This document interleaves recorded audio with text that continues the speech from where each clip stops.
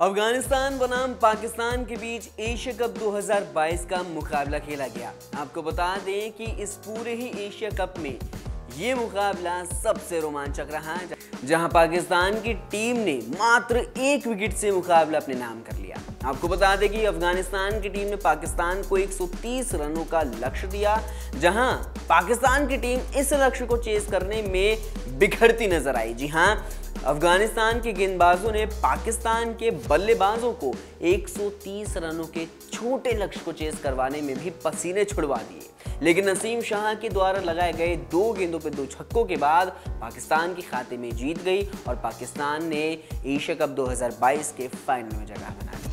आपको बता दें, इसी के साथ पाकिस्तान और श्रीलंका का 11 सितंबर को फाइनल मुकाबला दुबई के मैदान में खेला जाएगा। लेकिन आज इस मुकाबले में जहाँ पाकिस्तान ने जीत दर्ज की, वहीं पाकिस्तानी बल्लेबाज आसिफ अली ने कुछ ऐसा कर दिया, जिसकी वजह से अब बल्लेबाज की पूरे क्रिकेट जगत में आलोचना हो रही है। और साथ ही साथ बल्लेबाज पर अगले मुकाबले से पहले कोई ना कोई एक्शन लिया जाएगा। आपको बता दें कि ये घटना आखिरी ओवर से पहले की है, जब अफ़गानिस्तान के गेंदबाज फरहीद ने उनका विकेट निकाला। आसिफ अली का विकेट पाकिस्तान के लिए नौवा झटका था। वहीं आसिफ अली अपना विकेट गंवाने के बाद बेहद गुस्से में नज़र आए।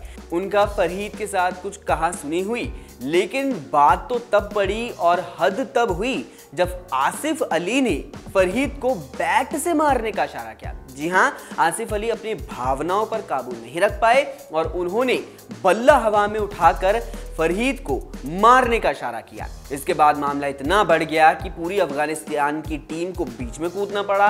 वहीं पाकिस्तान की तरफ़ से भी कुछ खिलाड़ी आए और बीच बचाव करने लगे। क्रिकेट में इस तरह की हरकत काफ़ी निराशाजनक है, क्योंकि इससे पहले भी खिलाड़ियों के बीच कहा सुनी हुई है, लेकिन बैट से मारने का इशारा या फिर बल्ले से मारने की ओर बढ़ना, ये एक बहुत ही गलत बात है। लेकिन आसिफ अली ने जो किया है, उसके बाद अब उनके ऊपर एक्शन लिया जा सकता है, क्योंकि उनके द्वारा किया गया ये हरकत पूरी तरह से गलत साबित हो जाती है। इस खबर में फ़िलहाल इतना ही, बाकी की तमाम खबरों के लिए आप बने रहिए वन इंडिया के साथ।